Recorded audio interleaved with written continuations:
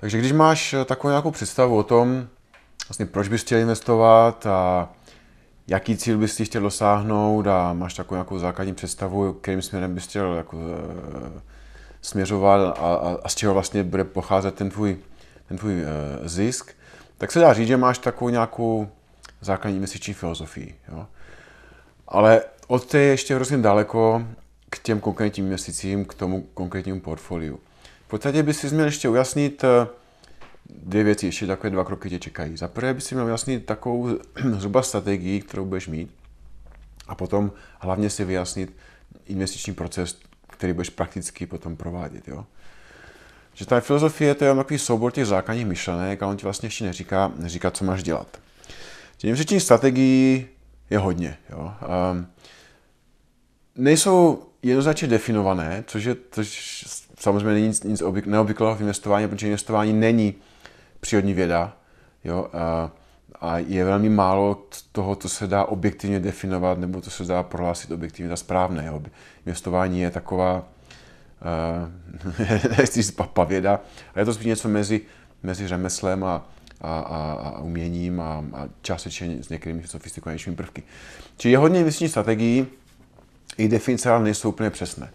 Tak například je, dejme tomu, takzvaná hodnotová strategie, která třeba založena na tom, že kupuješ eh, akcie, když se tady bavíme o akcích, jo, že kupuješ akcie, které, které jsou za nízký násobek zisků, za nízký násobek účetní hodnoty, jo, za tu hodnotu, která tam leží, jo, nebo která tam je aktuálně vyjádřena, neplatíš příliš mnoho a třeba ani nehledíš tak moc do budoucnosti, jo? si vlastně spoleháš se na ten aktuální stav, jdeme tomu. Pak je třeba růstová strategie, která zase vyhledává takové akcie, které, o kterých si myslíš, že dlouhodobě, že ty firmy dlouhodobě nadprůměrně rychle porostou. Jo? A snaží se těžit z toho, že z té myšlenky, že ten nadprůměrně rychlý dlouhodobý růst za sebou nadprůměrně rychle potáhne nahoru i cenu akcie. Pak jsou třeba strategie, které se nazvat jako kontrariánské. Jo. To znamená, že se snaží jít vždycky trošku proti davu, jo, protože zase vychází z takové myšlenky, že jakmile se dáv na něčem zhodne eh, v širokém koncenzu, tak je to pravděpodobně špatně. A když jdeš proti tomu, tak se to snažíš využít. Jo. A pak jsou strategie, které se dají nazvat jako třeba momentové, jo, nebo následující trend. Jo. To jsou strategie, které se snaží identifikovat nějaký trend, do něho naskočit a ještě z něho vytěžit. Jo.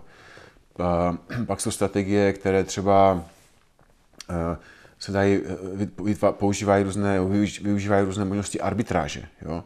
různých typů, ať třeba konvertibilní arbitráž nebo arbitráže mezi třeba akciemi nebo mezi trhy nebo mezi regiony, mezi lidmi.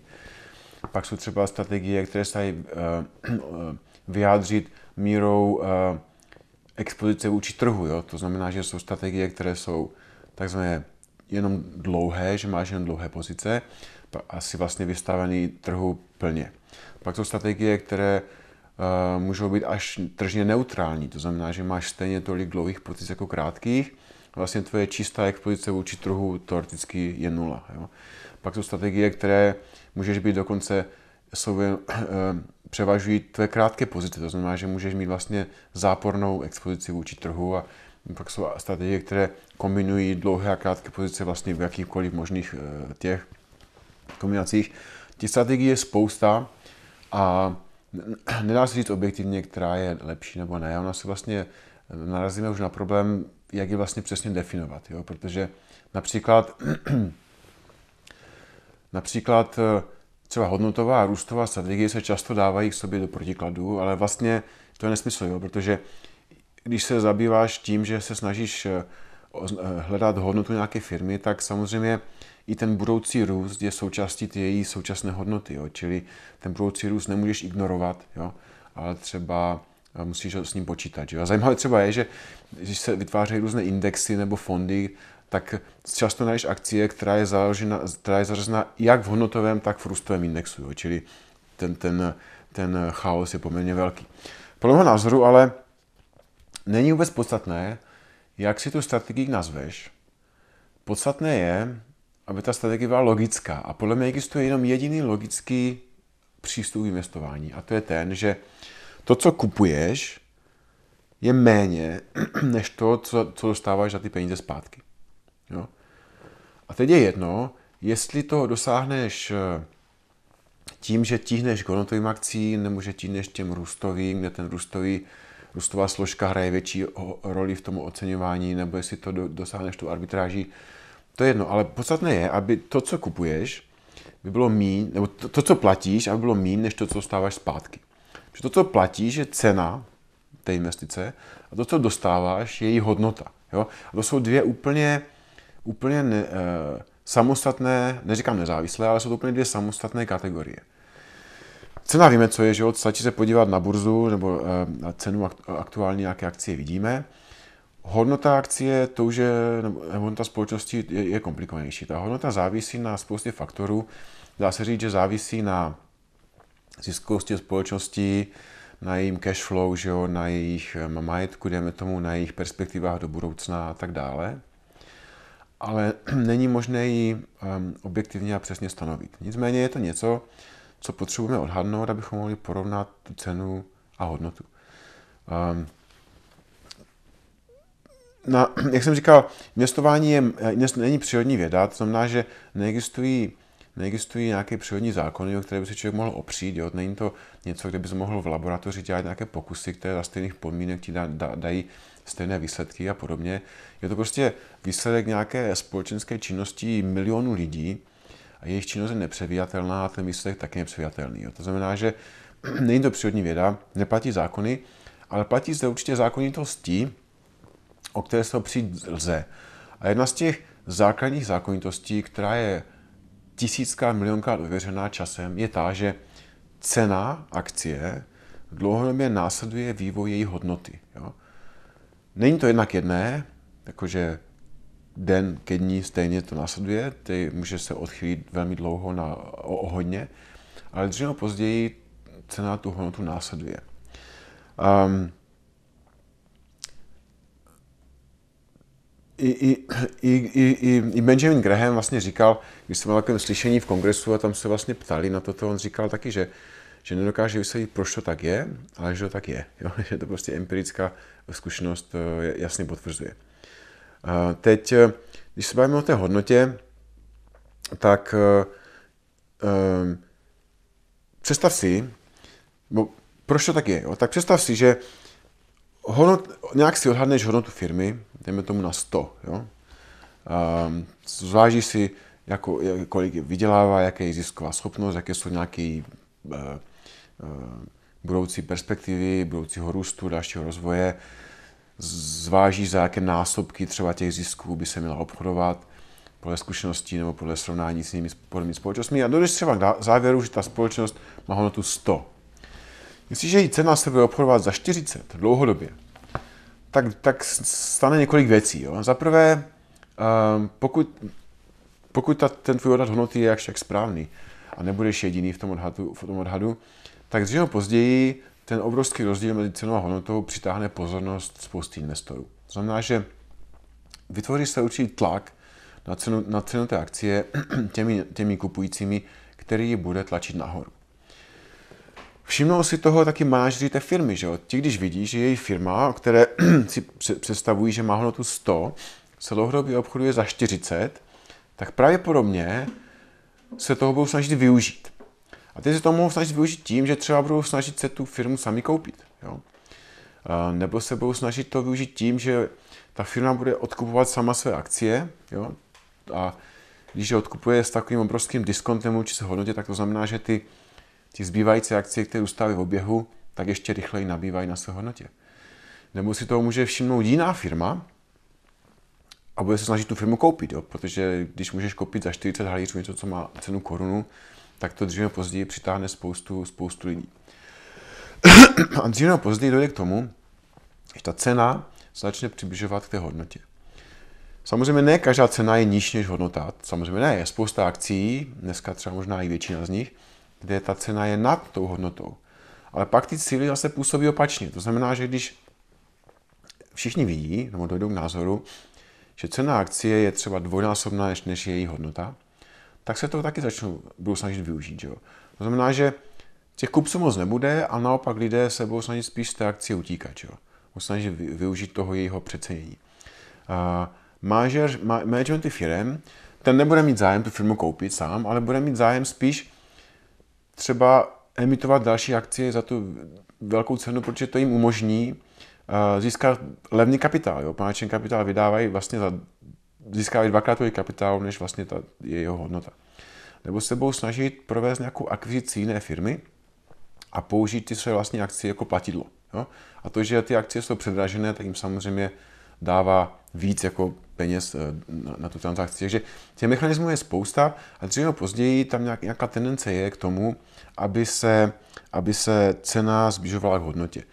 Samozřejmě není automaticky řečeno, že to je vždycky, že ta hodnota čase stoupá. Je spousta případů, kdy hodnota nestoupá. Jo. Já třeba, když se podíváme na český trh, tak, tak zase třeba uh, v případě OKD je hodnota klesla na nulu, že jo, prakticky, ale cena akcie i následovala, že jo, klesla taky na nulu. Že jo.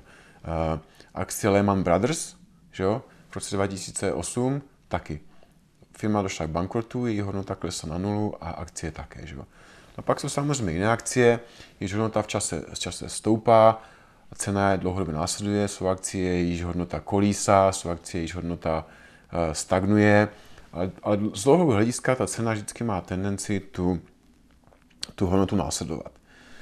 Co je to ale čas? Jo, je to čas, protože z krátkodobého pohledu ten akciový trh funguje jako nějaké hlasovací zařízení, jo? že vlastně ti investoři nebo spekulanti podle toho, jak se jim zdá, ta akcie je aktuálně populární, tak um, se krátkodobě ta cena vyvíjí. A z dlouhodobého hlediska ten trh funguje jako váhy, kde prostě váží na jedné straně hodnotu těch firm a na druhé straně jejich cenu. A snaží se to dávat do rovnováhy. Samozřejmě zkušeností víme, že tento, tento proces, kdy cena následuje um, hodnotu, není pravidelný nebo není lineární, nefunguje v pravidelných přírůstcích. Jo? Ta, ta, uh, člověk, který následuje tuto strategii, to znamená snaží se kupovat akcie za ceny, které jsou výrazně nižší než hodnoty, tak musí počítat s tím, že se to projeví až s postupem času a že někdy ten čas může být hodně dlouhý a že budou, že taková strategie musí nutně nést i, i, i výsledky, které po nějakou dobu budou třeba nejen podprůměrné, ale i záporné. To je prostě jistota, které se nedá vyhnout, ale, ale nevadí to, poněvadž pokud vybereš ty akcie dobře a jejich hodnota čase stoupá, ten čas hraje tvůj prospěch a, a, vlastně dříve později se té ceně projeví. Když, eh, když, když chodívám dělat různé přinášky, tak um, vždycky se snažíme udělat tak, uh, jak bych si představoval, abych sám nějakou takovou přednášku jako student měl schopnost někdy absolvovat. Jo? A uh, v podstatě si myslím, že investování je v zásadě uh, založeno na velmi jednoduchých myšlenkách, ale není snadné. Jo? To, co, to, to, co ho dělá, nedělá jako, to, co ho dělá nesnadným, je právě ten špatný přístup těch investorů. Protože investorům stačí jenom umět v zásadě dvě věci. Jo? Za prvé odhadnout hodnotu společnosti, až to je to, co potřebuješ k tomu, abys tu investici mohl dělat, jo? protože ty snažíš kupovat věci za ceny, které jsou výrazně nižší, než jsou ty hodnoty. A ta druhá věc je mít správný přístup k kolísání cen na trhu. A to jsou vlastně dva základní dovednosti, dvě základní dovednosti, které ten člověk, ten investor potřebuje umět a to ostatní dá se říct, že jsou podpůrné jenom věci. Ta první, odhadnout eh, hodnotu nějaké společnosti, ta se více blíží nějakému řemeslu, protože některé věci se dají naučit, některé věci se dají získat zkušenostmi a je to něco, co ač je subjektivní, tak je v podstatě eh, naučitelné řemeslo. Ta druhá věc eh, znamená ovládnout nebo získat správný přístup ke kolísání cen na trzích. To je spíš otázka disciplíny a ovládnutí se vlastní psychologie. Jo? A tento, vlast, tento investiční, pro, investiční proces uh, musí tady tyto dvě věci zahrnovat. Já vždycky říkám, že investování je otázkou pravděpodobnosti, že není to přírodní věda, neplatí zákony, ale platí tam určité prostě pravidla, kterých se možná opřít je. Hlavně je to otázkou pravděpodobnosti a ten investiční proces měl být navržen tak, aby, ty, aby tu pravděpodobnost výsledků jednotlivými kroky nakláněl ve tvůj prospěch. Jo? Takže například, ehm, jak takový investiční proces třeba takového investora, který se snaží kupovat akcie za cenu nižší než její hodnota, jak může vypadat. Jo? V podstatě, a řeknu to z našeho vlastního pří, pří, pří, příkladu, když vybíráme nějakou akci, tak si da, klademe čtyři základní otázky. Jo? A to je všechno. První otázka je, jestli rozumím tomu, co ta firma dělá. Jo? Druhá otázka je, zda ta společnost má nějakou trvalé udržitelnou konkurenční výhodu. Třetí otázka je, zda je řízena ve prospěch akcionářů. A teprve ta čtvrtá se ptá na to, jestli její akcie je atraktivně oceněna. Jo? To jsou čtyři kroky investičního procesu, které jsou navržené tak, aby každý z nich pravděpodobnost výsledku naklonil trošku ve tvůj prospěch. Jo? Tak uh, uh, už to, že začneš investovat, že o, o tom začneš přemýšlet, už vyšilí tvůj prospěch do plusu, jo? tvůj pravděpodobnost do plusu, protože akcie dlouhodobě rostou a pokud se o nich zapojíš, tak dlouhodobě budeš na tom pravděpodobně lépe, než ten, vůbec neinvestuje. Ale to samozřejmě nestačí. Takže ta první otázka, která zní, rozumím tomu, co ta firma dělá, ta je hrozně důležitá. A to z toho důvodu, že pokud bych měl, pokud bych měl jmenovat jednu věc, kde investoři nejčastěji ztrácejí peníze, tak je to tehdy, když se pouští do věcí, kterým nerozumí. Jo? Z vlastní zkušeností to vím velmi dobře, mám taky těch, těch, eh, těchto situací za sebou řadu, ale je to opravdu nejčastější jako situace, kdy lidé ztrácejí peníze. Pouštějí se do něčeho, čemu nerozumí. Nikoho by třeba nenapadlo, třeba by tě v životě by ti nenapadlo, nechat si ode mě zpravovat zuby, že jo? To by, to by nedopadlo dobře, že jo? A, že každý ví, že některé profese vyžadují určitou míru prostě profesionality nebo, nebo dovedností a znalostí. A ať je to třeba, nevím, ať je to třeba zubařina, ať je to nevím, filmařina, ať je to třeba kuchař, kuchař nebo učitel, jakákoliv profese. Zajímavé ale je, že pro většinu lidí platí, že jakmile se pustí do investování, tak si vůbec jako neuvědomují, že to je taky profese, která sem patří. Jo. Vlastně ani si to omezení jako vůbec nepřipouští a neuvědomují. A pak se pouští do něčeho, čemu nerozumí a tam přichází nejvíc peněz. Důležité je, že každý člověk, nebo tak, žádný člověk neví všechno. Někteří si to možná myslí, ale ve skutečnosti žádný člověk neví všechno. Že? Každý člověk má nějakou omezenou množinu toho, co ví, a pak je mnohem mnohonásobně víc toho, co neví. A důležité je, aby si každý investor uvědomil, kde jsou hranice toho, co ví. Jo? To je takový, eh, tady tu množinu těch znalostí eh, uzavírá hranice, které se říká kruh kompetencí. Jo? To je vlastně taková pomyslná hranice, která odděluje to, co víš, od toho, co nevíš. A pro investora není ani tak možná podstatné to, kolik toho leží uvnitř, Samozřejmě čím víc, tím je to lépe. Ale pro mě je podstatné, aby si uvědomil, co leží uvnitř a co leží vně. Jo? A aby se zabýval jenom, aby se pouštěl do takových investic, kterým rozumí. Jo? To znamená, že když se třeba, třeba bavíme o tom, že se třeba bavíme o tom, že um, chceme odhadovat potom hodnotu nějaké společnosti, to není jednoduchá věc, ale je celkem logické, že nemůžu ohlednout hodnotu něčeho, čemu nerozumím. Že jo? To je prostě absurdní představa, vylučuje se. A je potřeba se tady tomuto problému vyhnout a věnujeme se tomu tím, že se budeme věnovat jenom věcem, o kterých máme pocit, že rozumíme. Jo? Což znamená potom v praxi, že když budeme studovat jednotlivé společnosti, tak zjistí, že spousty z nich, možná většině z nich v podstatě nerozumíš. A teď není, není, nejde o to rozumět, co ta firma dělá, jaký má produkt.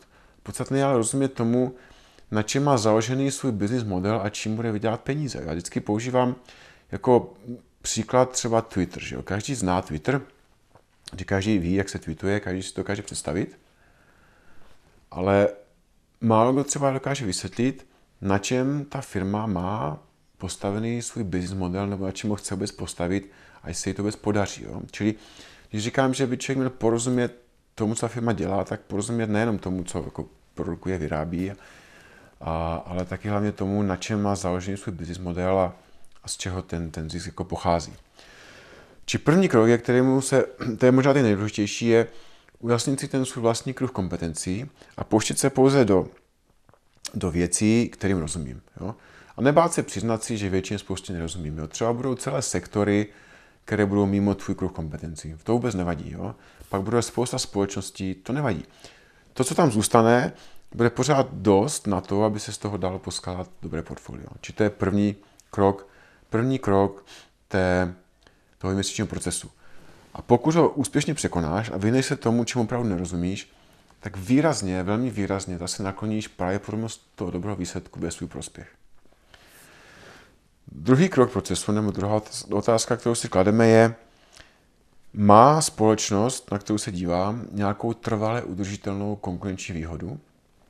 To je otázka, která je podstatná, protože když říkám, že investování je dlouhodobá záležitost, tak já chci, aby ta firma třeba za 7, za 10 let, nejenom aby tady ještě byla, aby prosperovala, ale chci, nebo nechci, aby tady nejenom byla, ale chci, aby prosperovala, že? protože když kupuju věci dlouhodobě, tak chci, aby oni dlouhodobě fungovaly. Teď otázka je, co to je vlastně dlouhodobě udržitelná konkurenční výhoda. Um, ta může mít uh, řadu různých zdrojů. Jo. Může jít třeba o značku, může jít o velikost, může jít o nižší náklady, úspory z dosahu, může jít o know-how, může jít o nějakou regulatorní výhodu. Těch, těch důvodů může jít o kulturu společnosti, což je třeba velmi, velmi podstatná konkurenční výhoda, která se často přehlíží. A těch, těch, podstat, těch eh, zdrojů té konkurenční výhody může být hodně. Zajímavé je, že když posloucháš eh, nebo čteš, co ty managementy těch firm o sobě píšou, tak spousta managementů, managementů firm tvrdí, že ta jejich firma má nějakou trvalé konkurenční výhodu udržitelnou. Jo? Ale když se podíváš na čísla jejich, na jejich výsledky, tak to tam vidět není. Jo? Či ta konkurenční výhoda, jako důkaz toho, jestli ona je nebo není, musí být ve, ve výsledcích té firmy. Jo? Jestli ta firma tvrdí, že ji má, ale její výsledky jsou průměrné, to znamená, já nevím, uh, její výnosy kapitálu, jo, výnosy vlastního mění, její marže jsou průměrné, no tak potom, potom tam ta konkurenční výhoda žádná speciální není, jo, protože ona se musí projevit v těch číslech. Ale pokud ta firma má dlouhodobě právě tyto hodnoty vysoké, má vysoké marže, má vysoké výnosy kapitálu především, má výnosy, vysoké výnosy vlastního mění, uh, tak zřejmě nějakou konkurenční výhodu má. A pak je třeba si zamyslet nad tím, jestli ona jaká asi může být a jestli je tím pádem taky i udržitelná. Jo? Protože jsou některé konkurenční výhody. Žádná z těch konkurenčních výhod není předplacená zajištěná navždy. Jo? Jsou spousty firm, které ji mají a pak ji postupně ztrácí, ona prostě eroduje, až třeba zmizí. Jo? Um, jsou pak jsou třeba jiné firmy, které čím dál více zvětšují a ona se vlastně zdá téměř jako neotřesitelná. Jo? Ale potřeba si ujasnit, jestli tam nějaká je nebo ne a jestli je udržitelná. To je druhá věc. Pokud vyřadíme firmy, které ji nemají, um, a které, nebo které ji ztrácejí, tak zase nakloníme trošku ten prospěch eh, nebo tu pravděpodobnost toho výsledku v náš prospěch, protože firmy, které mají dlouhodobě udržitelnou konkurenční výhodu, si dlouhodobě povedou lépe, co se týče vývoje jejich hodnoty, než ty, které ji nemají.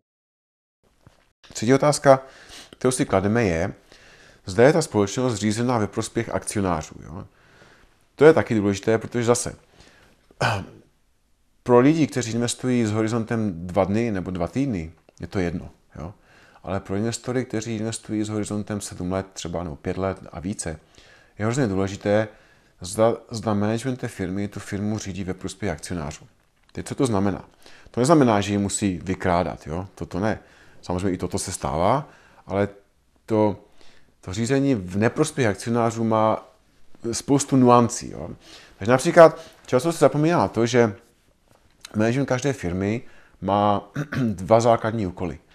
První je řídit ten vlastní biznis, prostě dělat ten samotný biznis. Jo. To chápeme a většina těch managementů v tom je dobrá, protože to je jejich eh, jako odvětví, to je jejich vlastně foch, že jo, většinou prošli tou firmou z dola nahoru, to je něco, co, co umí a na co jsou zvyklí.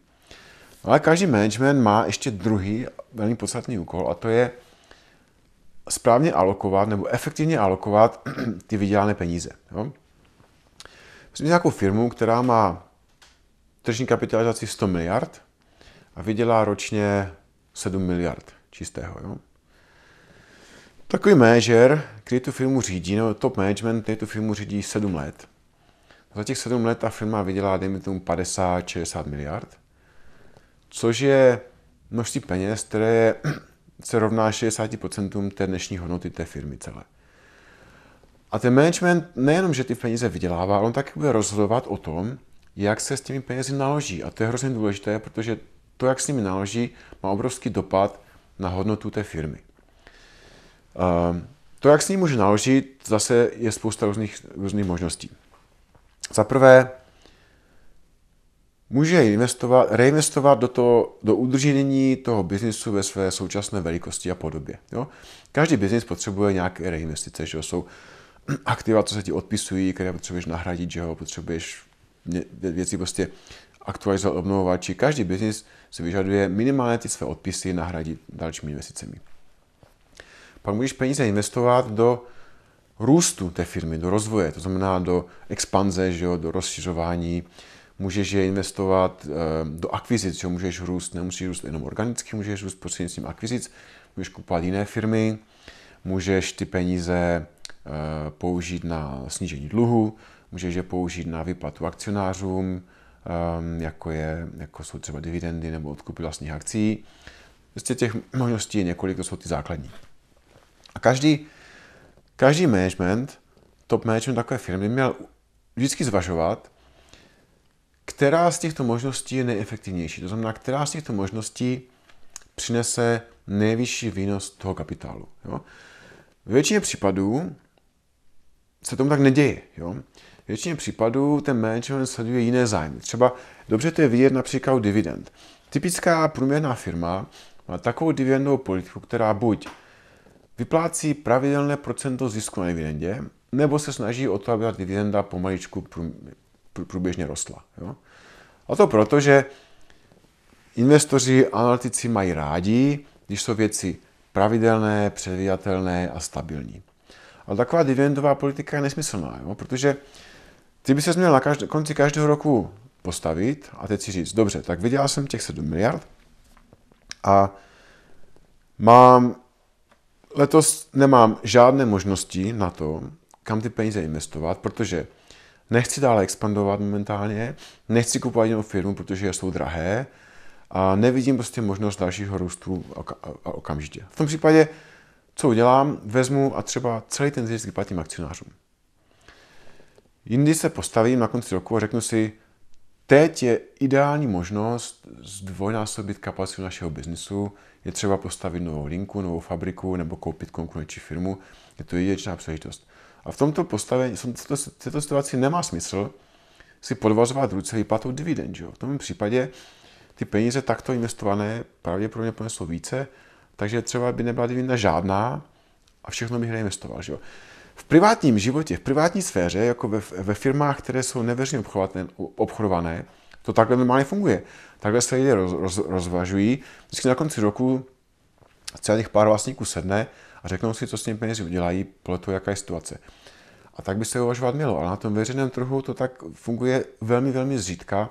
A je to prostě krásná ukázka toho, jak ten management může alokovat neefektivně. Management taky může mít úplně jiné zájmy, než eh, mají jejich akcionáři. Jo? To je taky ten klasický učebnicový problém principal versus agent. Jo? Principal, to znamená eh, vlastníci té firmy, akcionáři, mají nějaký svůj vlastní zájem. Jejich zájmem je, aby hodnota té firmy dlouhodobě rostla a aby s tím rostla cena akcie. Manažer může mít úplně jiné zájmy. Že? Ten může mít uh, svou vlastní kompenzaci jako svůj zájem, může mít mnohem kratší měsíční horizont nebo vůbec uvažovací horizont, protože není zřejmé,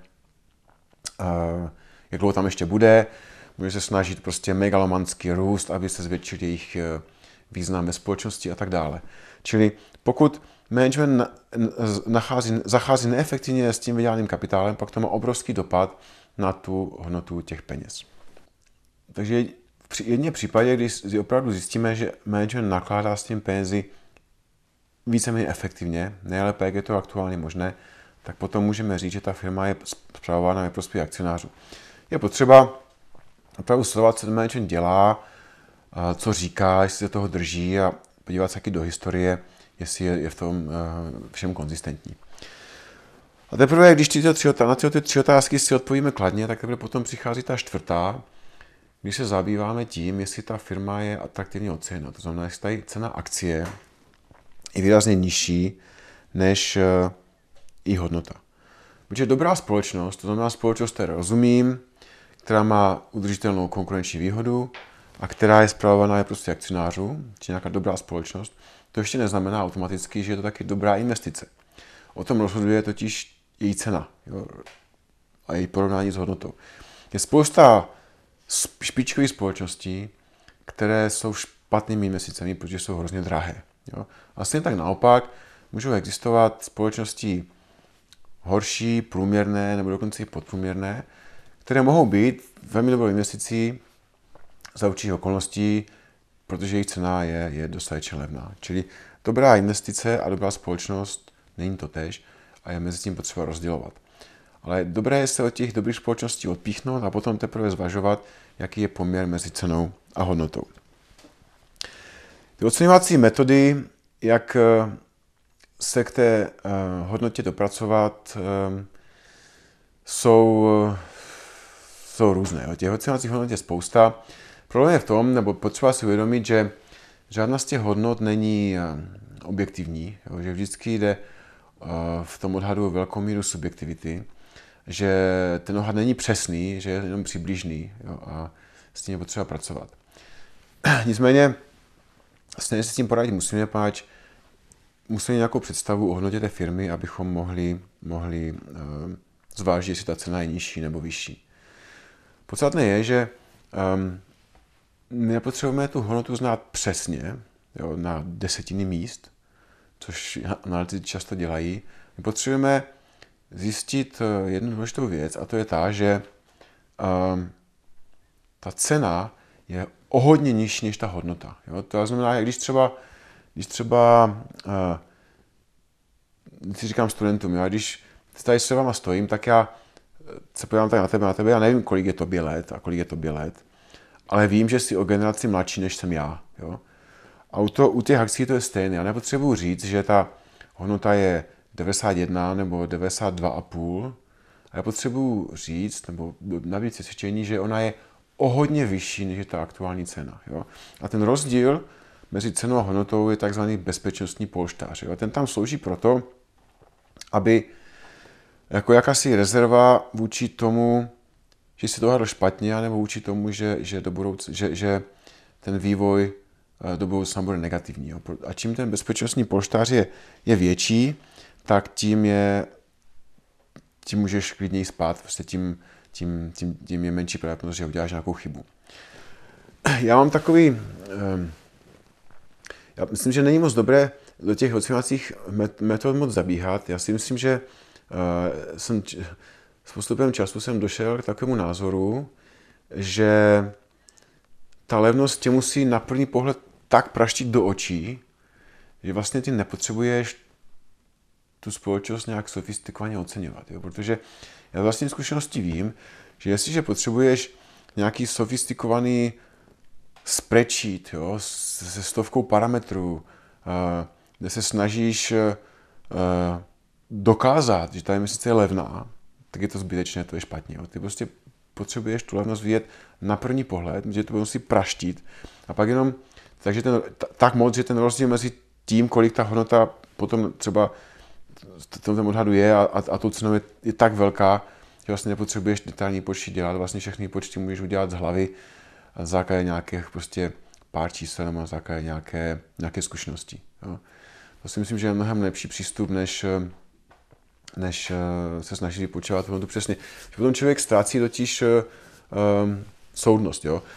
Když se postíš nějakého komplikovaného oceňování společnosti, tak potom vlastně zapomeneš na to, že ten výsledek vlastně závisí 80% na tvých subjektivních vstupech, které do toho modelu nastrkáš než na, na, té, na té skutečné realitě, která potom nastane.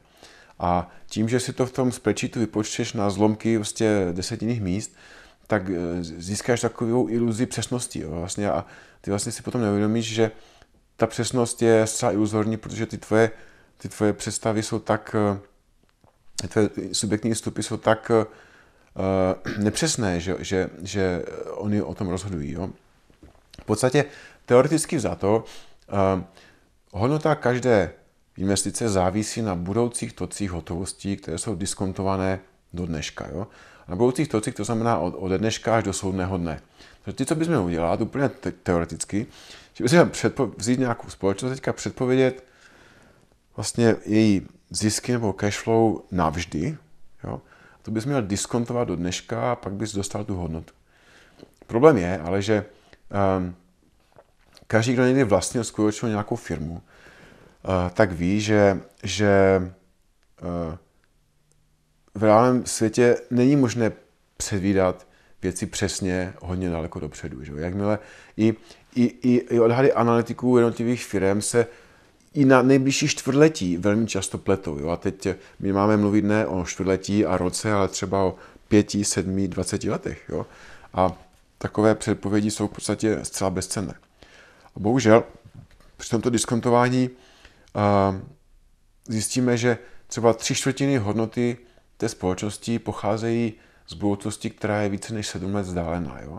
A takové číslo je zcela bezcenné. Jo? Čili investoři někdy nahrazují uh, nedostatek třeba selského rozumu a takového jednoduchého přístupu tou snahou něco přesněji počítat jo? a potom, potom dělají největší, největší chyby. Myslím, že investoři nebo lidé často příliš mnoho počítají a příliš málo přemýšlejí. Já si myslím, že lepší je přistupovat tím měsícím tak, že se zamyslíš se úplně jednoduše selským rozumem nad tím, jak, jak ta firma vypadá, jakou zhruba má ziskovost, popřemýšlíš na tom, jaký by byl přiměřený násobek těch zisků a pak to porovnáš tou cenou. Jo. Když tam máš, když ta cena je trojnásobná, tak to vyhodíš, jo. když ta cena je stejná, tak taky vyhodíš, když je cena o třetinu nižší, no tak už zbystříš pozornost a podíváš se detailněji a zjistíš třeba, jestli to nepřehlédl a neudělal nějakou jako zásadní chybu.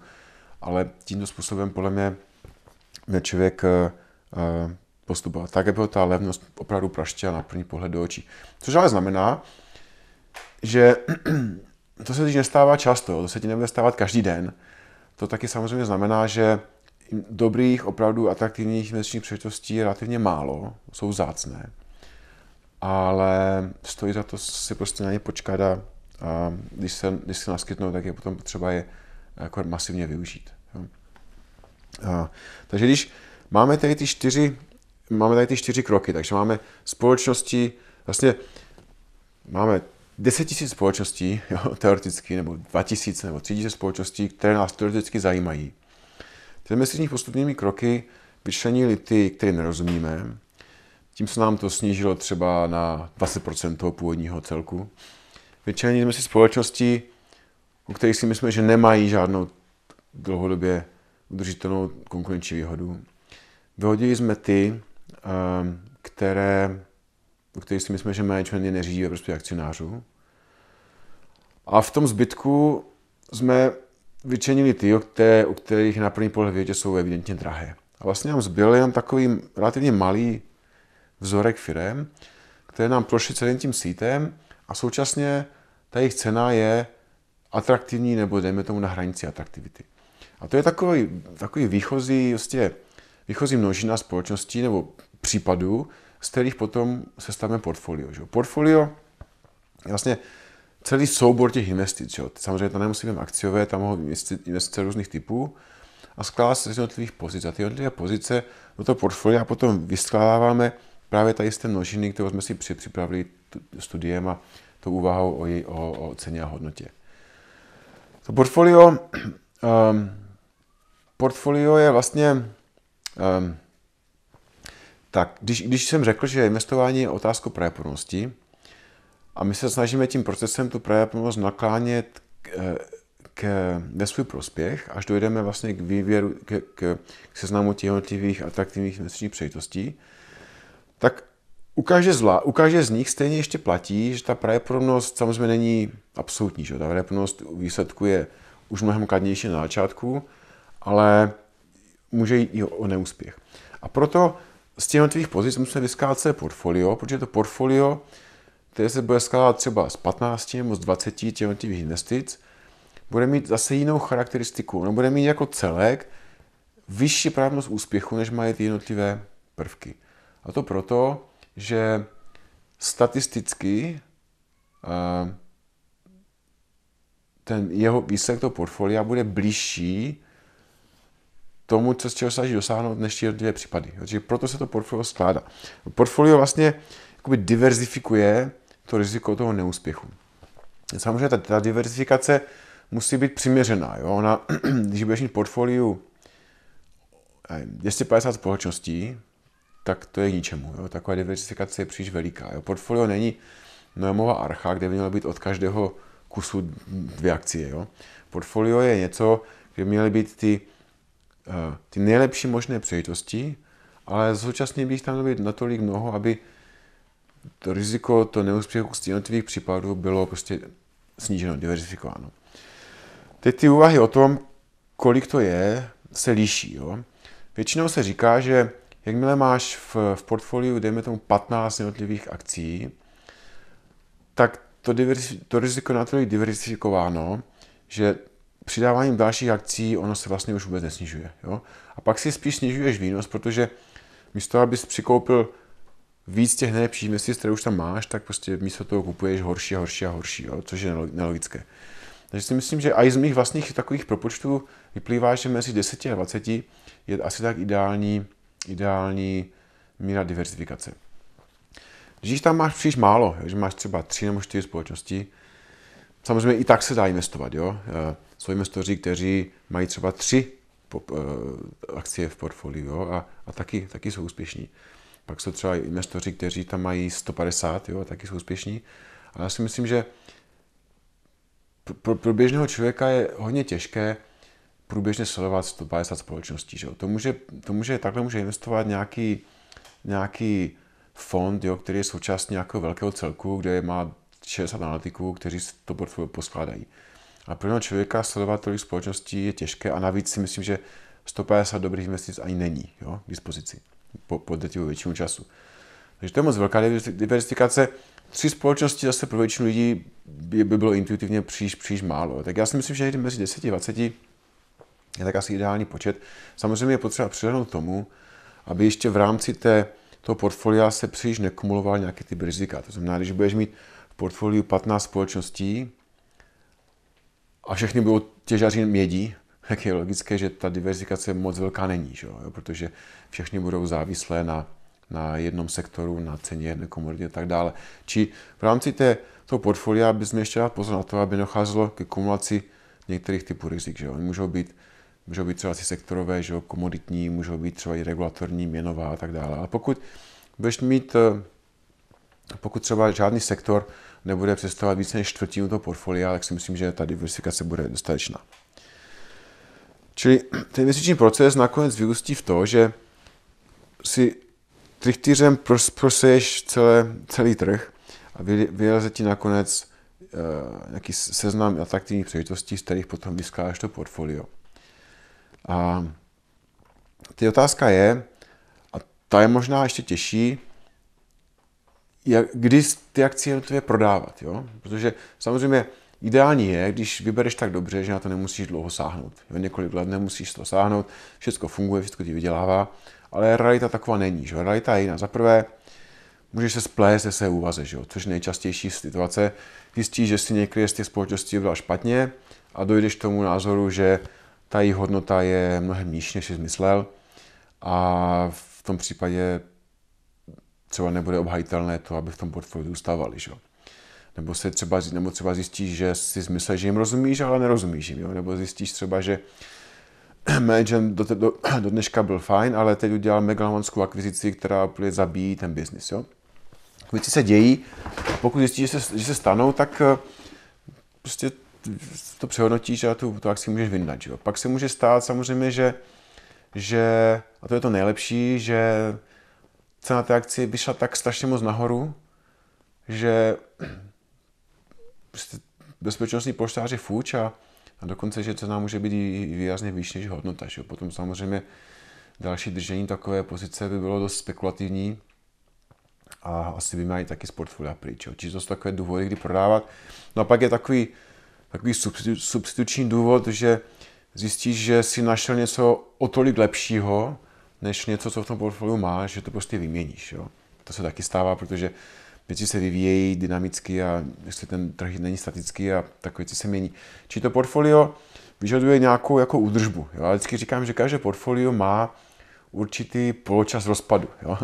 Teď eh, pro investory, kteří obchodují na denní bázi, ten poločas rozpadu je třeba dvě hodiny. Jo. Že oni vlastně uh, udělají 350 obchodů za den a na konci ne, nechcou mít žádnou pozici otevřenou a ten jejich průměrná doba držení se, se počítá třeba na minuty nebo na desítky minut a ten poločas rozpadu takového portfolia je hrozně krátký, oni nemůžou jít ani na oběd, protože se jim to portfolio jakoby rozpadne. Jo. A pak jsou třeba ale investoři, kteří jsou opravdu hodně dlouhodobí, a když ty akcie, a tam potom záleží, jak dobře se ti podaří to portfolio vyskládat. Když si, když opravdu jako dobře vybereš ty společnosti, ta jejich hodnota stoupá, ceny jak však následují, tak vlastně nemusíš dlouho na to jako šahat. Jo. Ten poločas rozpadu může být třeba u těch jednotlivých pozic i, i, i roky, roky dlouhý. No ale to portfolio vyžaduje nějakou eh, pozornost a nějakou údržbu. Jo. Samozřejmě ta pozornost čím si dlouhodobější investor a čím jako víc pozornosti dáš na tu dlouhodobý výběr akcí, tak tím méně to potom vyžaduje té aktuální údržby. Čiže se nemusíš s tím dělat tolik transakcí, nezajímají tě ani tak moc uh, čtvrtletní výsledky a, denní zprávy třeba už vůbec ne. Jo. Ale každé to portfolio, každé to portfolio vyžaduje nějakou uh, činnost. Teď otázka je, co jsme tady ještě nezabi- ne, ne, ne, ještě nerozebírali, kde vlastně chodit na ty jednotlivé investiční nápady. Jo, to taky dostávám často tu otázku. Jo, na tom není nic, na tom není nic jako magického, jo, to je prostě uh, selský rozum a těch, těch uh, cest, jak nacházet dobré investiční nápady, je, je spousta. Uh, jedna taková je, že vezmeš si prostě seznam společností, které se na tom trhu obchodují, nebo jsou, které jsou zastoupeny v nějakém širokém indexu. Začneš od A a skončíš u Z. Všechny si nastuduješ. Um, nevýhoda toho je, že to je hrozně pracné a hrozně dlouhodobé. A, a může trvat hrozně dlouho, než se dopracuješ nějakému um, konkrétnímu atraktivnímu výsledku. Na druhé straně ti to dá uh, obrovský přehled prostě o, o tom, co na, na, tom trhu je. Čo, abys ty poznal, že ta společnost je dobrá, tak bys měl znát dalších 20, které jsou špatné, abys prostě měl to srovnání. Jo. Protože jak poznáš, když, ti dá, když, když o tom nebudeš vědět nic a dostaneš do ruky nějakou společnost, tak ty nemůžeš říct, jestli je dobrá nebo ne, protože ty nebudeš mít to srovnání. Jo. Takže takové to, to, to široké studium společnosti si myslím, že je, je hrozně, hrozně uh, prospěšné. Jo. A když, jsem, když jsme připravovali tady ty ty podcasty, tak já jsem si schválně uh, s tím dal práci a spočítal jsem si to, a, abych ti mohl jako představu, jak dlouho to trvá. Jo. Tak já myslím si, že mám takové základní povědomí asi o, o dvou a půl tisících společnostech, eh, převážně z rozvinutých trhů. Jo. Z níž asi u, u 1700 jsem minimálně jednou četl výročí zprávu, to znamená minimálně jednou jsem se to společnosti vážně zabýval. A myslím si, že na roční bázi udržuju řádově 300 až 500 společností tak jako průběžně aktualizovaných, to znamená, to je ten, to je ten lepší výběr, který mě zajímá průběžně. Jo. A teď dopracovat se do toho, do toho, do toho, do toho stavu trvá 10 až 15 let. Jo. To mám spočítané, protože samozřejmě si je video, které výročky jsem četl a kdy, abych to měl pořádek, že jo, vím, co si mám ještě objednat a tak dále. Takže je to hrozně, hrozně pracné, hrozně dlouhodobé a pro většinu lidí nepřekonatelné, protože je spousta lidí nerada čte. Jo. A, ale zase na druhou stranu ti to dá něco, co prostě jen tak nezískáš. Jo. Zase samozřejmě to samo sobě negarantuje úspěch investování, jo, ale, ale myslím si, že to pomáhá. Myslím si, že třeba tím se dostaneš do výhody vůči spoustě analytiků ve velkých firmách, jo, protože typická velká firma typu Goldman Sachs, JP Morgan a Deutsche Bank a tak dále, pokrývá všechno. Že jo? Všechny trhy, téměř všechny akcie, všechno možné. A většinou ti analytici No, jsou obrovské týmy analytiků, si se počítají na, minimálně na desítky, někdy na stovky. A většinou si rozdělují práci podle odvětví. Jo? Takže takový typický analytik je schopen až ad absurdum jako debatovat o tom, jestli Air France je lepší než, než Lufthansa, investice nebo společnost, ale není schopen porovnat aerolinku třeba s pojišťovnou. Jo? Protože pojišťovny vůbec nezná, nikdy se jim nezabýval, ani to nich neví. A tebe nezajímá, tebe nezajímá, a i to jejich doporučení se potom pohybuje třeba na relativní bázi v rámci toho odvětví. Jo? Ale tebe nezajímá kupovat nejlepší aerolinku, když třeba aerolinky vůbec nechceš, jo? nebo tebe nezajímá kupovat nejlepšího eh, těžaře ropy nebo nejlepší ocelárnu, ty třeba vůbec nechceš tyho sektory. Jo? Ty potřebuješ, abys měl srovnání přes celé ty trhy i přes ty jednotlivé regiony. Jo? A to se nedá získat jinak, než tím, že ty jednotlivé společnosti nastuduješ. Jo? I, I Buffett, jo? když si říkal někdy, někdo se optal vlastně uh, taky na to, jak má, jak má studovat ty společnosti a Buffett mu řekl, začněte od A, že jo? To vlastně, i, I touto cestou to vede. Nicméně není to samozřejmě jediná cesta. Výbornou, výbornou cestou, jak nacházet nápady, jsou samozřejmě analýzy brokerů a analytiků a investičních bank. Jo. Um, většině případů to jsou profesionální že, lidé, kteří mají znalosti, zkušenosti a mají samozřejmě za sebou velký aparát, mají data, že mají, si možnost s ním pracovat a, a historii a tak dále. Jo. Ale uh, je potřeba s to jejich prací zacházet opatrně, jo, protože je třeba si uvědomit, že oni mají trošku jinou motivaci než ty jako investor. Že jo. Takový analytik, že který pracuje v JP Morgan, tak on zaprvé potřebuje generovat obchody. Jo. To znamená, že většinou uvažují ve velmi krátkých horizontech, typicky 3 až 6 měsíců. Jo. A pro, pro takového makléře, jako makléřskou firmu, investor, který koupí akcí, 15 let drží, aniž by s ní obchodoval, je nezajímavý. Že? Je zajímá investor, který to pořád točí. A tomu oni trochu pod, pod, pod samozřejmě um, podřizují ty svá doporučení. Za druhé, um, ta druhá část té jejich firmy pracuje s těmi firmami, které oni analyzují. Jo? To znamená, že analytik, který má negativní názor na tu firmu, tak právě pro mě způsobí to, že ta jeho, ta jeho, jeho zaměstnavatel přijde o další biznis s tou firmou, kterou, kterou on analyzuje. To znamená, že oni mají za prvé tendenci být optimističtější, než by, než by byli normálně. Za druhé, samozřejmě přihazují biznis tomu svému investičnímu bankovnictví, takže to je v tom vidět. Takže analýzy jsou super, ale je potřeba je, protože oni ti ty informace zpracovávají, předkládají a ušetří ti hodně práce a vždycky si neudělají vlastní názor. Jo, to si myslím, že je podstatné. Pak jsou třeba některá investiční periodika, která, která můžeš využít. Že třeba, třeba můj neocenitelný pomocník je, je Value Line, to je takový pravidelný týdeník, který pokrývá téměř celý ten americký trh. A bez toho se, bez toho se vlastně neobejdu. Jenom litu, že něco podobného není třeba na evropský trh, jo, a to si myslím, že je výborné. Jsou různé, různé, eh, dejme tomu, newslettery nebo pravidelná periodika typu Manual of Ideas, jo, které, které, kde jsou různé investiční uh, doporučení a analýzy.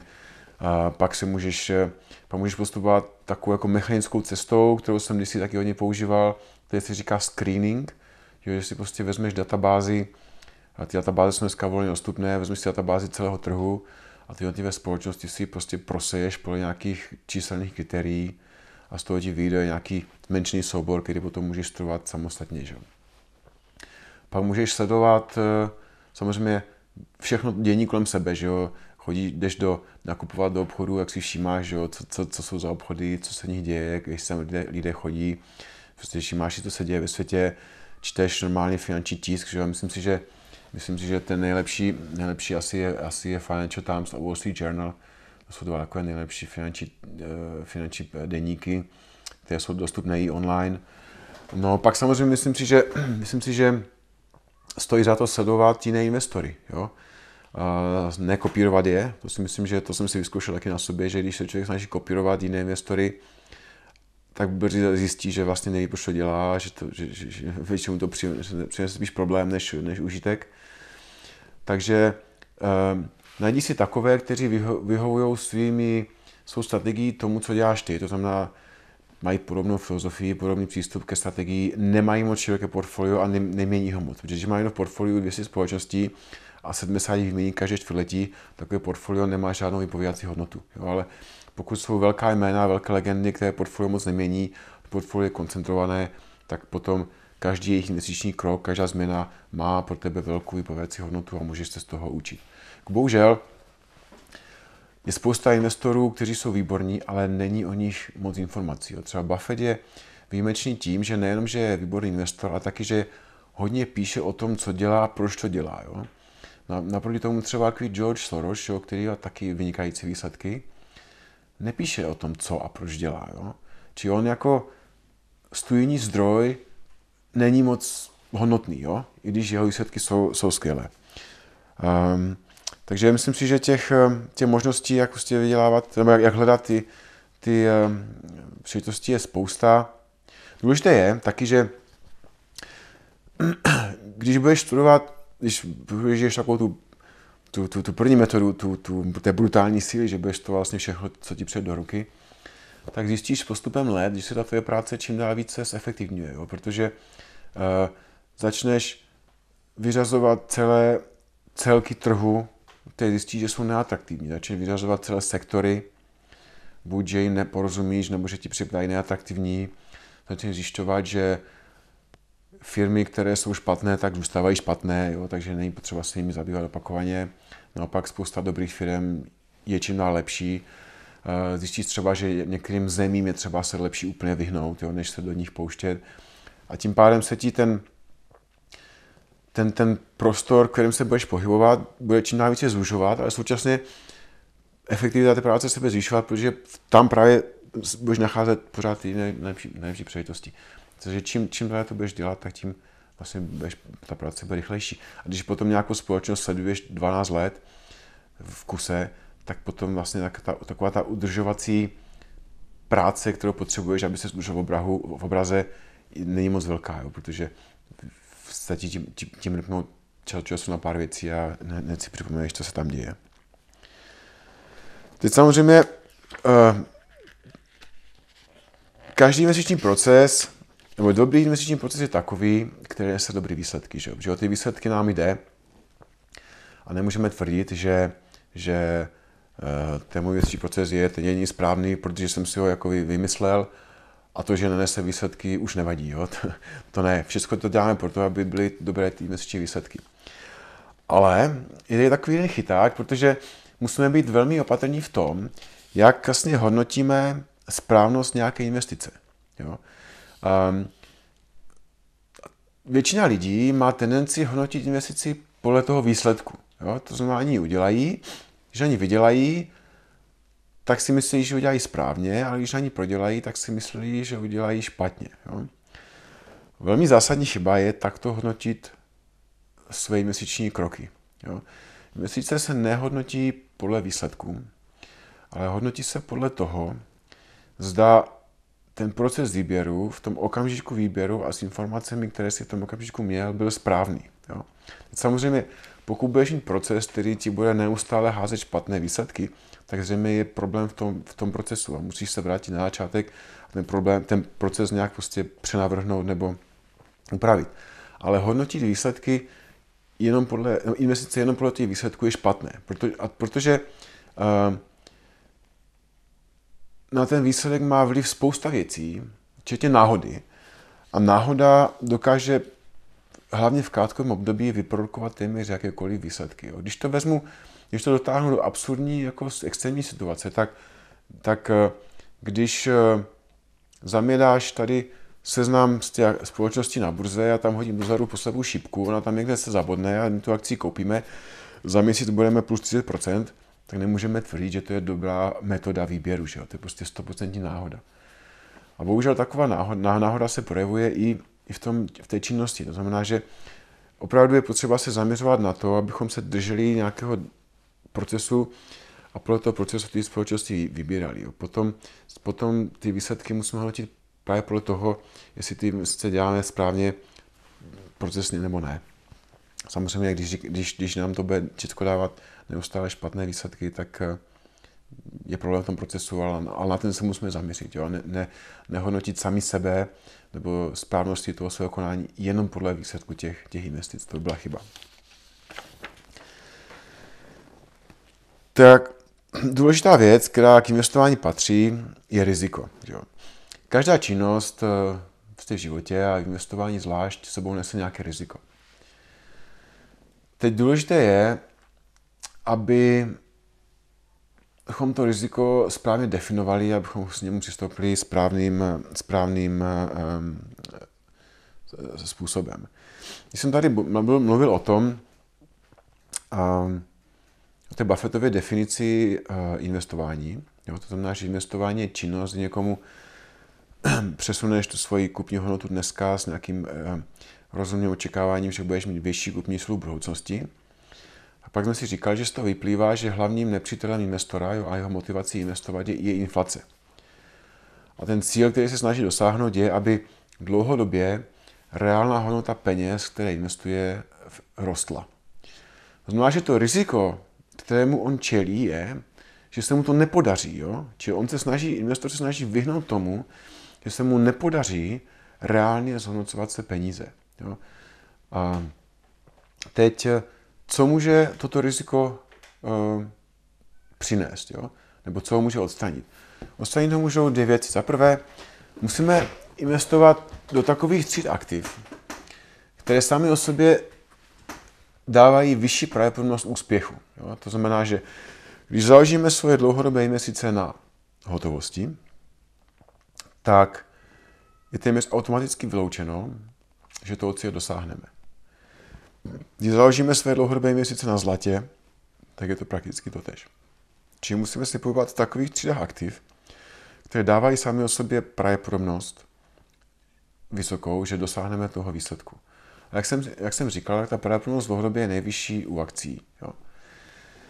A druhá věc, která ji může zhatit, je něco, čemu je potřeba se vyhnout za každou cenu, a to je takzvaná trvalá ztráta kapitálu. Jo. Protože i v rámci těch vybraných tříd aktiv nekupujeme tu třídu aktiv celou, že? Když řekneme, kupujeme akcie, ne koupit akcie, musíš vždycky koupit nějaké akcie, nebo několik akcí, nebo nějaký výsek z toho akciového trhu.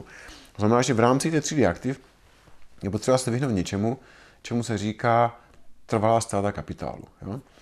Co to je? Představ si, že třeba před tou poslední velkou finanční krizi si v roce 2007 vlastně na akcie Coca-Coly a potom si na dva roky odjel na na prázdniny. Jo. Za dva roky si se vrátil, teď se podíval na cenu akcie, na zisky společností Coca-Cola a vůbec bys nevěděl, že mezi tím proběhla nějaká velká krize, nějaký velký krach trhu.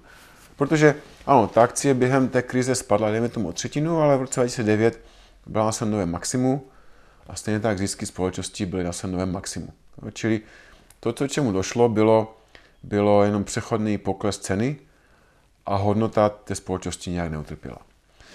Naopak ti akcionáři, co drželi akcie Lehman Brothers jo, v roce 2007 a pak udělali na dva roky pryč, když se vrátili, tak zjistili, že přišli o všechno. No, přišli o 100% své investice, bez jakékoliv možnosti ten kapitál získat zpátky. Ten byl prostě navždy pryč. To je něco, čemu se říká trvalá ztráta kapitálu, a je to něco, čemu je potřeba se za každou cenu vyhnout.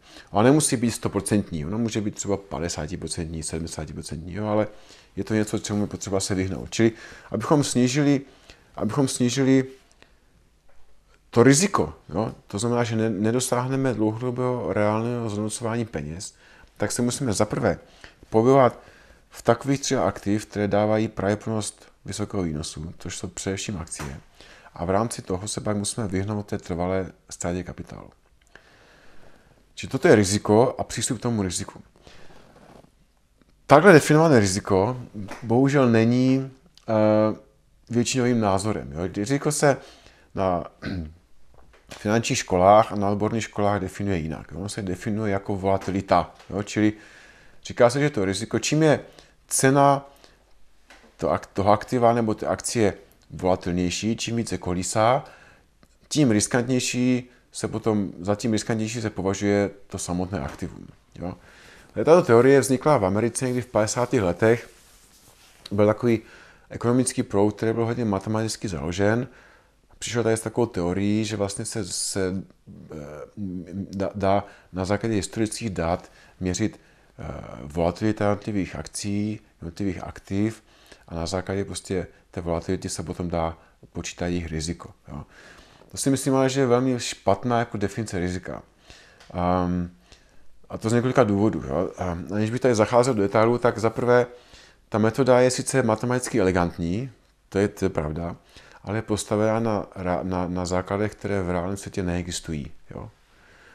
Um, dále vede k absurditám, jakože jestliže položíš riziko rovné volatilitě, to potom znamená, že, že aby lidé dosahovali vyšší výnosy, tak by museli vyhledávat volatilnější investice. Jo. Ale v životě jsem nepotkal člověka, který takhle uvažuje. Jo. Dále potom vede k takovým jako milným domněnkám, že stačí, že dává příliš jako do, do, do úzkého vztahu riziko a, a, a výnos. Jo? A vlastně vede lidi k domněnce, že stačí postoupit vyšší riziko a vyšší výnos je zaručen. Jo? Tak to, to jako není pravda. Či já si myslím, že riziko, co, co například, uh, uh, představ si, že máš dneska akcie, akcie, akcie, které stojí 80 a oni zítra z ničeho nic spadnou na 60. Ani by se cokoliv změnilo, jo? z nějakéhokoliv důvodu. Podle teorie té standardní, Eh, která pokládá riziko za rovnou volatilitě, je ta akcie za 60 mnohem riskantnější zítra, než dneska za 80, protože díky tomu velkému poklesu se zvýšila i volatilita. Zvýšila i volatilita. Mi ale ještě nikdo nevysvětlil, proč je riskantnější něco koupit za 60, než to za 80. Jo. Podle mě to je přesně naopak. Jo. Čili já definuji riziko jinak. Já definuji riziko právě jako to, že se nepodaří ti dosáhnout toho cíle. Um, existuje něco, čemu se říká, existuje něco, čemu se říká uh, výnosová křivka. Ta dává do, do vztahu riziko jednotlivých aktiv, vyjádřenou její volatilitou a jeho výnosy. Na, kon, na konci té křivky, to znamená aktivem, které je považováno za nejméně volatilní, je právě hotovost. Protože hotovost, její nominální hodnota nekolísá, znamená, že volatilita je nejnižší, nulová a taky tomu odpovídá nízký výnos. Když se pak na té křivce pohybuješ, tak uh, vyšší volatilitu mají potom třeba bankovní vklady, nějaké státní dluhopisy, korporátní dluhopisy, pak dluhopisy s nějakým vysokým výnosem, různé typy akcí a tak dále. Jo? A čím volatilnější je to aktivum, tak tím potom se očekává, že má vyšší výnos. Ten vztah je logický, protože jestliže něco, jestliže něco má uh, Jestliže něco má vyšší riziko, tak samozřejmě chceš, aby byl kompenzován vyšším výnosem. Problém ale je tady v definici toho rizika. V normálním světě, který tady platil ještě před rokem 2008, před tou krizí, znamenalo, že řada těchto aktiv nesla kladný reálný výnos. Za normální okolností i bankovní vklad, to už dneska málo kdo si uvědomuje, by měl nést kladný reálný výnos. Pokud někomu peníze půjčuješ, aby je s ním nakládal, tak samozřejmě chceš, aby dostával zpátky více. Že? A kladný reálný výnos nesli potom i všechny ostatní aktiva. Bohužel, díky tomu, že po té velké finanční krizi se centrální banky z různých důvodů snaží úrokové sazby držet extrémně nízko, tak dneska má spousta aktiv záporné reálné výnosy. Ale není to nejen hotovost, ale, ale i bankovní vklady a dokonce spousta dluhopisů má záporný reálný výnos. A teď já říkám, k čemu je ti nízká volatilita u těchto tříd aktiv, když je automaticky zaručeno, že budeš mít záporný reálný výnos. Nej naopak, nejsou naopak tyto aktiva jako riskantní. Jo? Či já si právě myslím, že na té definici rizika uh, hodně závisí. Jo? A já doporučuji teda definovat riziko právě jako, jako uh, to nebezpečí, že se ti nepodaří dlouhodobě ty peníze reálně zhodnocovat, než, než jako, jako volatilitu. Riziko je vůbec, eh, riziko je vůbec dost eh, komplikovaný, eh, komplikovaný předmět, protože když se tím začneš zabývat, tak narazíš hned na tři problémy. Za prvé zjistíš, že riziko není objektivně definované, jo? ani definovatelné. Že existuje spousta definic rizika a vlastně nedá se říct, která z nich je objektivně správná. Za druhé zjistíš, že riziko není měřitelné, jo? což je překvapivé, protože právě ta standardní teorie se snaží to riziko shrnout do nějakého jednoho čísla a tím potom to riziko vyjádřit. Jo. To si myslím, že není. Já si myslím, že riziko není měřitelné a to ani, ani nejenom ex ante, ale ani ex post. Jo. Dám ti příklad třeba. Představ si, že, představ si, že hrajeme hokej s Kanadou. Jo. A před zápasem odhaduješ pravděpodobnost našeho vítězství na 30%. Jo. To znamená, že uh, riziko nevýhry je 70%. Jo. Teď ten zápas skončí a my třeba vyhrajeme. Jo. A i když znáš ten výsledek, tak ty nemůžeš říct nic o tom, jaké bylo riziko nevýhry před tím zápasem. Ty nemůžeš říct, jestli bylo vyšší nebo nižší než, než 70%. A to by se ten zápas musel odehrát třeba tisíckrát a pak bys třeba mohl nějaký úsledek udělat. Ale to samozřejmě není možné a není to možné ani v investování. Jo? Takže to riziko investování není podle mě měřitelné a to ani zpětně. Jo? Či není definovatelné, není měřitelné a navíc je subjektivní, jo? protože to, co řadě lidí připadá jako, jako um, riskantní, to jiným může připadat jako zcela fajn. Jo. Čili um, velmi, velmi záleží právě na, na definici rizika. Já samozřejmě netvrdím, že investování do akcí sebou nenese riziko. To samozřejmě nese riziko, ale to riziko nesouvisí s kolísáním ceny akcie. To riziko souvisí právě s podnikáním té společnosti. Jo. Ty máš nějakou svou společnost, že jo, spousta lidí má nějakou společnost, tak když si to dokáže představit.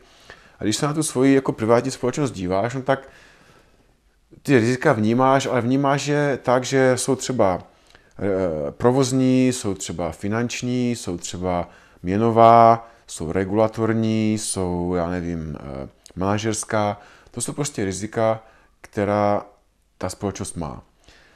A taková rizika má každá společnost. Třeba, já nevím, eh,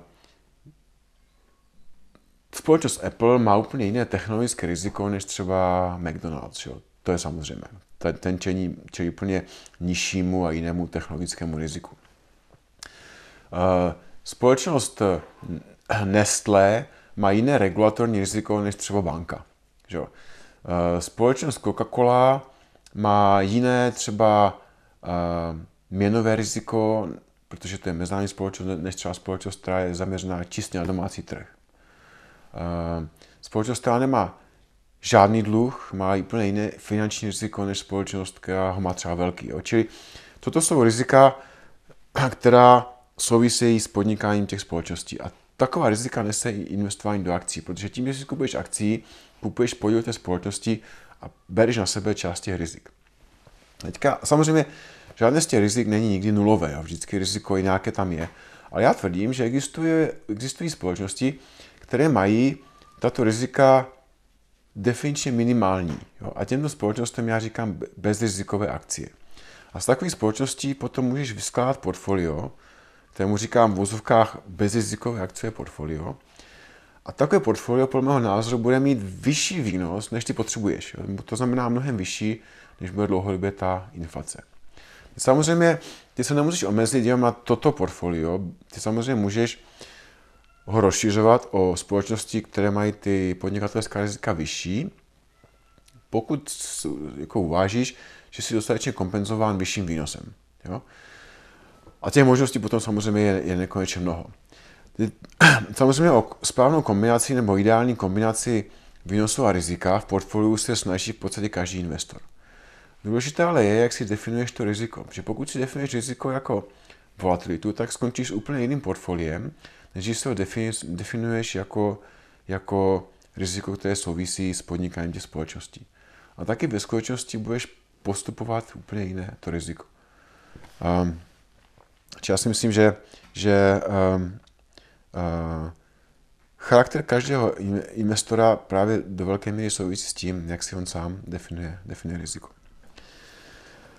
Um, Další důvod, proč akcie nesou takové dobré výnosy a proč by měli tě ochránit před ztrátou hodnoty peněz, je, že inflace má tendenci nafukovat i výnosy jednotlivých společností. Jo?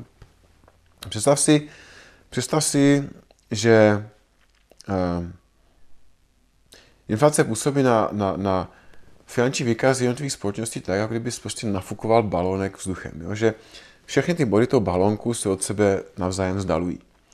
A stejně tak je to Stejně tak no, podobně působí inflace na finanční výsledky společností. Ta vyšší inflace znamená, že těm firmám rostou rychleji tržby, ale rostou jim taky rychleji náklady, že rostou jim rychleji aktiva, ale taky jim rostou rychleji náklady na, na kapitálové výnosy, že na kapitálové uh, investice, roste jim rychleji rozvaha, roste jim taky rychleji dluh. V celé, celé ty finanční výkazy se nafukují. Um, a to má právě, to znamená, že ty akcie mají určitou uh, kompenzační schopnost uh, vyrovnat ty škodlivé účinky inflace. Mají mnohem větší než samozřejmě třeba uh, dluhopisy, jo, které tuto možnost nemají. Samozřejmě je pravda, že, že ta inflace nepůsobí na všechny společnosti stejně. Jo. Jsou společnosti, které inflací trpí a jsou společnosti, které z ní těží. A obecně se dá říct, že inflace nejvíce prospívá takovým společnostem, které kumulují vysokou hodnotu ekonomického goodwillu a nízkou nutnost kapitálových investic. Jo, to znamená, že když firma má velký ekonomický goodwill, to znamená hodnotu značky, jo, nebo uh, silné tržní postavení typu třeba, třeba Google, jo, uh, nebo, nebo Facebook, tak tam, je, tam, je, tam jsou hmotná aktiva malá, a ty, ty ten, ten nehmotný goodwill, ty nehmotná aktiva jsou vysoká. A inflace má tendenci hodnotu těch aktiv nafukovat velmi výrazně. A pokud současně v té firmě je nízká, mož, nízká nutnost kapitálových investic, tak eh, zase ta inflace ty společnost nezatěžuje. Jo? Nemusí investovat víc a víc a víc díky tomu, že inflace ty investice prodražuje. Sem patří třeba, kromě těch, co jsem zmínil, třeba Mastercard. Že? Mastercard těží z inflace, poněvadž má tržby s, s, s, s, má podíl na tržbách těch karet a současně nemá téměř žádnou nutnost kapitálových investic nebo, nebo minimální. Čili ne, neříkám, že všechny společnosti dopadají inflací dobře, ale dají se najít takové, které z inflací těží dokonce jo? A, a dobře kompenzují její škodlivost. Um, vždycky, když, když, když mám možnost mluvit se studenty, tak jim, tak jim říkám, že jejich obrovskou výhodou je to, že, že oni jsou mladí. Jo? Že, a já vždycky říkám, vám je řádově 21 let, to znamená, že vy za svého života zažijete právě pro mě 100 násobný růst akciových trhů. Teď oni na mě vytřeští oči, že 100 násobek je hodně. Že jo? V, každém, v dnešním světě je 100 násobek hodně a nedokážu si to představit.